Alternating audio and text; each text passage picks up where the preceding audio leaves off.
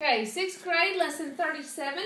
This is on adding and subtracting decimal numbers. Now, this should be um, review from last year, okay? But the most important thing to remember about adding or subtracting decimal numbers is what? You line up the decimals. You line up the decimals. So, 2.3, 2.41, and 31.7. See how all the decimals are lined up? Mm-hmm. Okay? All my ones are lined up, all my tens are lined up, all my tenths are lined up, and all my hundredths are lined up. Okay? What do I do with all these empty spaces? Zero. Add zeros. You don't have to, but it makes it easier. Okay? 1 plus 0 plus 0 is 1. 7 plus 4, or actually let's do 4 plus 3, which is 7. And 7 plus 7 is 14. 2, 4, 5, 6. 3 plus 0. That. Bring down my decimal. That is our answer. See how we did that? Mm-hmm. All right, let's do, let's, let's do about, we'll do one more. Actually, let's do two more. All right, so we have 3.4 plus 0.26 plus 0.3. Now, write that on your paper, lining it up how you're supposed to.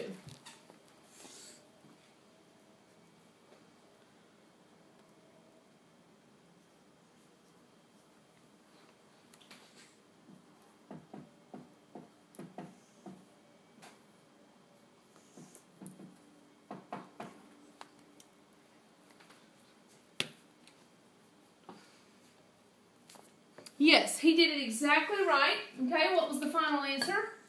3.96. 3.96. He is correct. That's what you should have gotten. Okay, let's do a subtraction. 4.56 minus 2.3. Okay, so we're going to line it up. 4.56 minus 2.3. What should I do with this extra Zero. space? Add a zero. I subtract, and you should have gotten 2.26. Now, there's one problem in the lesson practice I want to run over with you real quick, and it is letter G. It's the problem G. And let's just do this real quick. Do this one on your paper, and it may be a little bit confusing, but I'm going to do it to show you. Who want to do that problem?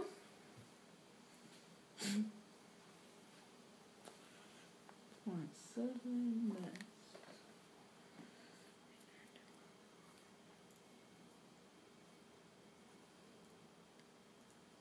What'd you get? 1.3. You're exactly right. So you should have taken the one a zero point six plus zero point seven. A lot of people get confused, but it's just like any other problem that didn't have decimals. You would do 7 plus 6 and get 13 and carry the 1.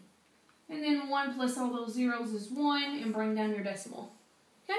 Pretty simple, but a lot of people get confused. They're like, do I put 13 here and put a decimal? No, that would be incorrect. Okay? That is lesson 37.